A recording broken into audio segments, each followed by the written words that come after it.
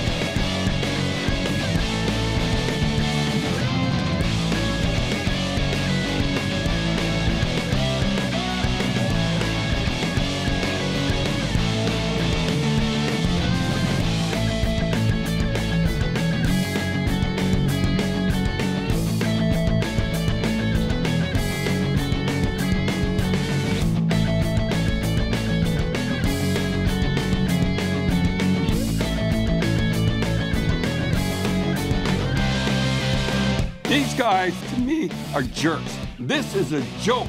Young men expressing themselves for joy of winning. They don't do this thing in the net. It's professional hockey. What are these guys, the jerks or something? I know what I'm talking about. You never do anything like that. They're still not drawn. They're a bunch of jerks as far as I'm concerned. The bunch of jerks have returned.